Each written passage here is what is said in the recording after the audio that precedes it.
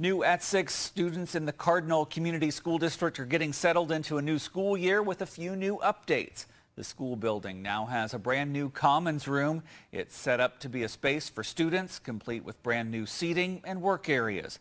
And the school also has a brand new 21st century classroom.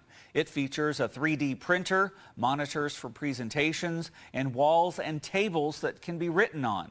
The classroom is twice the size of a regular classroom, so teachers can collaborate with classes on big projects.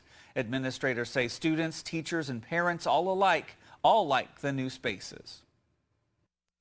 When we did the big reveal, um, kids just loved it and it's just been a nice space with the way the furniture is set up for kids to work in collaborative groups. Um, sometimes teachers come down here and pair up or we do during our professional development days. Um, so the feedback has been wonderful. Students have been able to use the 3D printer in physics classes as well as for making pieces for the Lego robot.